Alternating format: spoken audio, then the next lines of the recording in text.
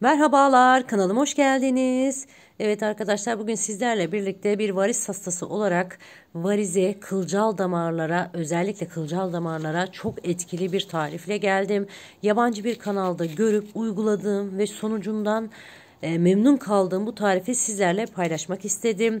E, öncelikle kavanozumun içerisine bir tutam biberiye, taze biberiye bahçeden toplamıştım. Dilerseniz aktardan alabilirsiniz.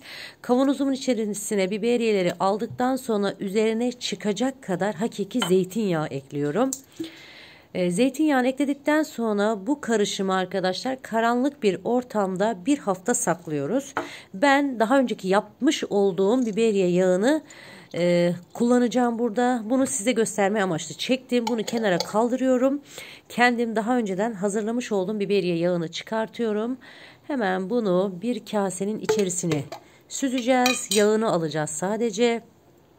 Şöyle güzelce yağını süzüyorum. İçerisine de e, bir tatlı kaşığı Vicks ekleyeceğiz. Bir tatlı kaşığı Vicks bunu güzelce karıştıracağım. Eğer ki elinizde etil alkol varsa onu da katabilirsiniz. Ben de yoktu. Ben onun yerine limon ekledim içerisine. Limonla güzelce Vicks'i biberiye yağını iyice karıştırıyorum. Bunu sorunlu bölgeye sürüyorsunuz arkadaşlar.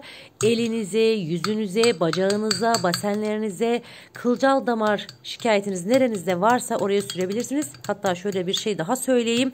Selülite birebir selülitü yok ediyor arkadaşlar.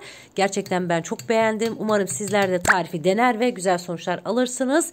Bu tarz videoların devamı için kanalıma abone olmayı, beğenmeyi, paylaşmayı, kaydetmeyi unutmayın diyorum ediyorum. Bir sonraki içerikte görüşmek üzere diyorum.